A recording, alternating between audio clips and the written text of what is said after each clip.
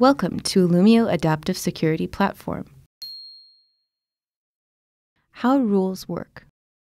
As you saw in our previous video, when you apply Illumio labels such as role, application, environment, and location to workloads, they form a group. Once workloads are in a group, you can write rules to manage secure communication between workloads. In Illumio ASP, rules use a whitelist model to define allowed communication between workloads.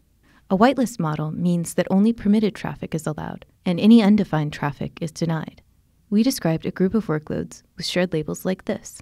A web and a database workload located in AWS belong to the vacation booking application in the production environment. For your policy, you want to allow anyone using the internet to communicate with the web workload, but only the web workload can communicate with the database. You can write two rules for this policy. Rule 1 states internet users can talk to the web workload.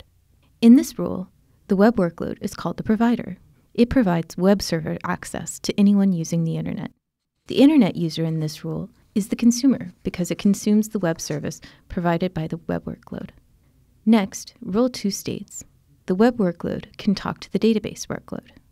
In this rule, the database workload is considered the provider because it provides database access to the web workload. The web workload in this rule is the consumer of the database service that is provided by the database workload. Any traffic not specifically permitted by a rule is blocked. In Illumio ASP, the relationship that allows communication between a provider and a consumer is called a rule.